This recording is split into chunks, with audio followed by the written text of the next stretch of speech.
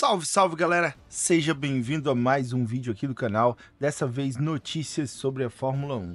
Antes de irmos para as notícias, queria pedir para vocês curtirem, compartilharem. Segundo o jornal The Telegraph, né, um jornal holandês, ele reportou que tinha uma equipe ali que estava com um certo dispositivo nos seus carros que tivesse alterando durante é, o período ali entre a classificação e a corrida, a altura do carro.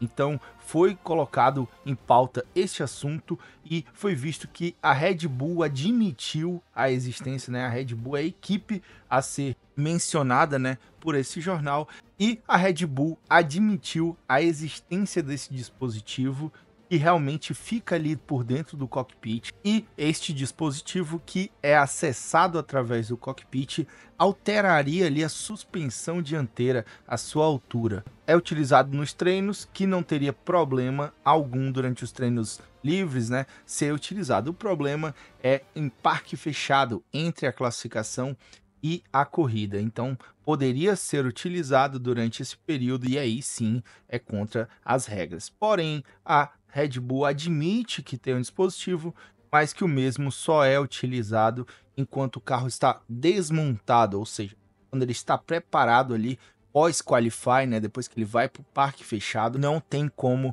alterar a altura do carro, não tem como mexer com esse dispositivo. A FIA né, garante que nenhuma regra foi quebrada, mas que a partir desse GP de Austin, a partir desse fim de semana, vai instalar ali alguns procedimentos para que seja verificado de forma mais precisa o funcionamento desse dispositivo para que ele não altere nada durante esse período do parque fechado. Então, é garantido pela FIA e a Red Bull não vai quebrar nenhuma regra ali, mas não se sabe há quanto tempo também se utiliza né, esse dispositivo. Foi reportado durante o GP de Singapura sobre esse sistema, o que foi reportado pelo jornal The Telegraph é um jornal holandês. E segundo matéria já fala sobre Pérez e Verstappen, né?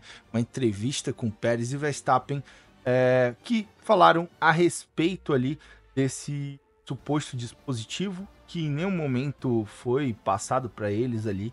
Esse dispositivo teria uma forma de ter alguma vantagem ilegal, né? Que eles falavam que não teria problemas, não estão com nenhum tipo de preocupação sobre esse sistema, esse dispositivo da Red Bull. Tanto Verstappen falou a respeito, como Pérez. Pérez deu uma entrevista um pouco mais longa, né, falando que seria impossível que eles utilizassem esse dispositivo e a FIA não percebesse né, que tinha algo errado, tinha mudanças ali, medidas.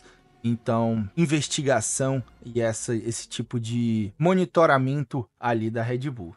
Então é isso, vamos ficar de olho.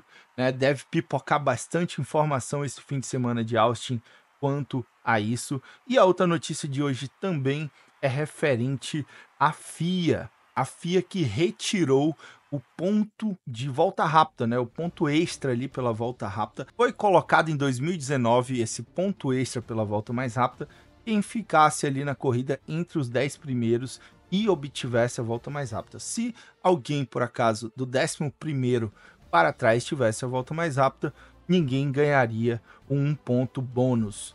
Então foi ingressado pela FIA e agora vem sendo retirado em meio aí após polêmica de Daniel Ricardo né, no GP de Singapura, que parou ali na antepenúltima volta, penúltima volta, fez a volta mais rápida de pneu macio e tomou ali, ficando mesmo na 18ª, 19ª posição é, tomou a volta mais rápida, acabou tirando do Lando Norris, que seria uma volta dele, né? Então foi visto como uma ajuda ali da Racing Bulls à Red Bull.